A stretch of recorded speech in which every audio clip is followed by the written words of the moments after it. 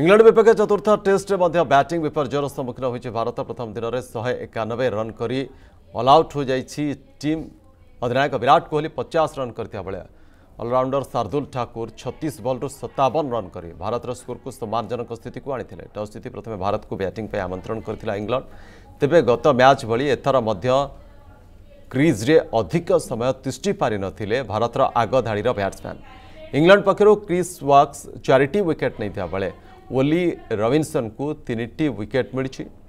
ସେପଟେ ଇଂଲଣ୍ଡ ପ୍ରଥମ ଦିନ ଖେଳ ଶେଷ ସୁଦ୍ଧା ତିନି ୱିକେଟ୍ ହରାଇ ତେପନ ରନ୍ ସଂଗ୍ରହ କରିନେଇଛି